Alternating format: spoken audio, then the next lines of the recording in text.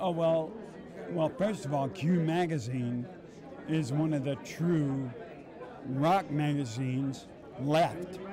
I mean, they really are true to rock. Maybe they didn't give you enough time for sound check. Okay, and you and they said, okay, your sound check's over. Well, at that point, you should have said, no, it's not. So I have to take responsibility for not standing up for myself. Um, so everything that has gone right or wrong has been a lesson.